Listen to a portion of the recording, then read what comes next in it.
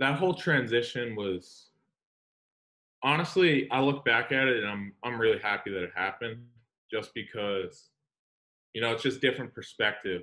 Uh, co- coming to college, like that's pretty much all you're looking to gain, like new experiences, meet new people, and from f- a football sense, that only broadened my horizons as a football player.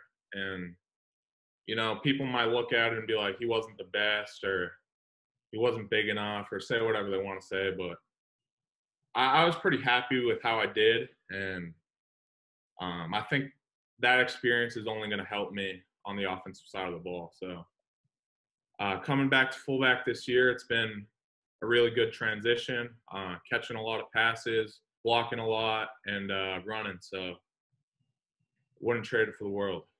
Really excited. Thank you.